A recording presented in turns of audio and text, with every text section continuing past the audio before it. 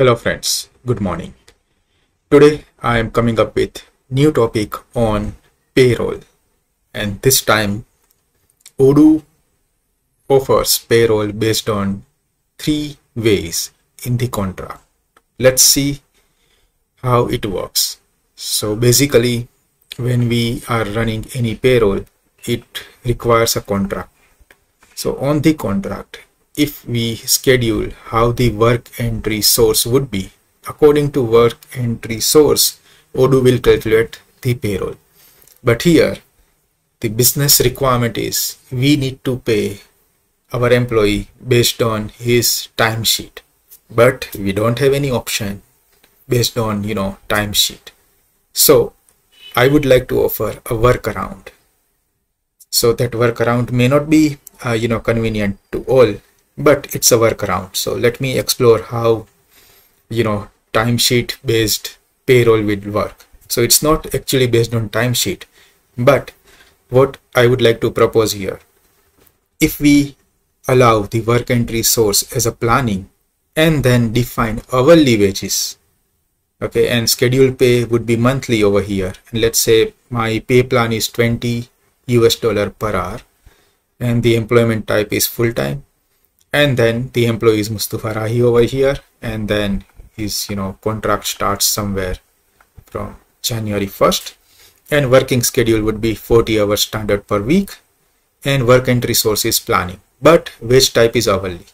So how we can now generate the payroll based on this planning entry source so here the wages hourly but how I will be going to pay to this particular employee based on hourly based on you know timesheet. So timesheet is a separate parameter.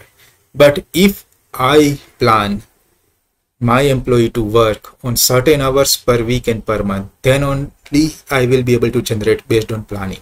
So how it will work? So what we will do, we will generate first planning. So in the planning, what happens? Like for every week you know i am making some plan. So let's say from 24 to 28 march i am planning 20 hours for this particular candidate. So likewise if i have planned you know 20 hours then you know 16 hours then 32 hours and 12 hours in span of four different weeks. So totally i have planned 80 hours for this particular candidate. So now what happens is candidate will come according to this planning and fill up his time sheet based on allocated task. Because during planning also what we will do we can attach the sales order item over here which I have already sold and now this employee is working on that particular task. So I have planned only 80 hours for this particular candidate to work during entire month. Now based on this planning if I want to generate my work entries so what I will do is you know for this particular month if I say regenerate work entry and for this Mustufa Rahi from 1st March to 31st I want to generate work entries. So it will generate work entries based on all this you know planning. Okay. So 12 32 16 and 20 worth 80 hours of planning is already added. Now what happens is if I want to generate payslip it will go and create one payslip based on the number of days. And days are comprising of hours. So number of hours are 80 multiplied by 20 it will generate the payroll based on 80 hours of planning. So planning can convert into timesheet which the employee has to fill up on his uh, you know task. And then we can generate the payroll based on the planned hours so this is the one way. May not be uh, you know 100% alignment but yeah it's a alternative.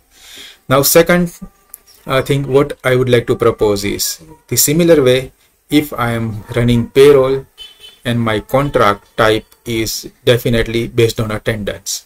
So again if i set the employee payroll to run based on attendance and it is again connected with hourly wages. So let's say for this employee 2 my hourly wage is 10 us dollar per hour and the payroll should run based on attendance. So how it will work this time?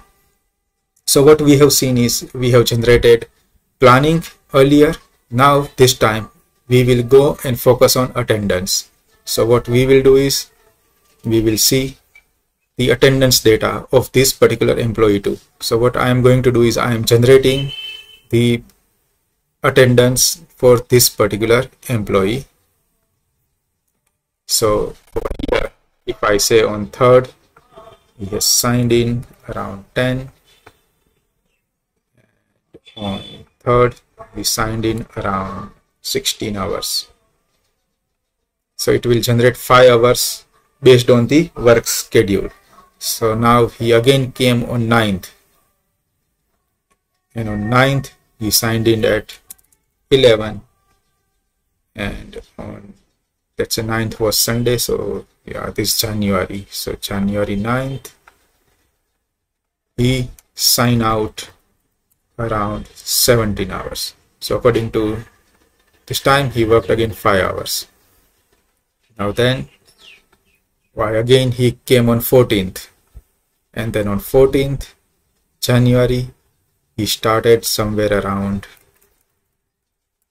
11 and on 14th let's say he closed around 13 hours. So based on you know uh, like working schedule his you know time log is 11 to 1 or 11 to 12 because 12 to 1 is you know the break so now i have generated uh, let's say only these many hours for my employee to almost 18 hours. So let me just check this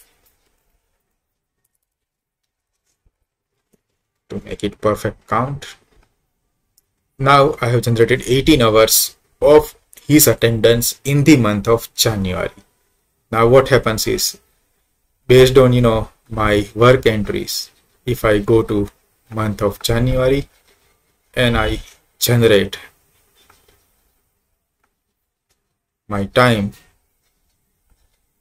for employee 2 it will generate you know based on the attendance. Now what happens is in the work entry for the month of January and I generate payslip so payslip will be generated based on total number of days counting 23 hours means 2.87 days he worked and according to 23 hours he will be eligible to pay get pay of 229.96 US dollar. So this is how you can generate even based on his real attendance and calculating that attendance into hourly wages.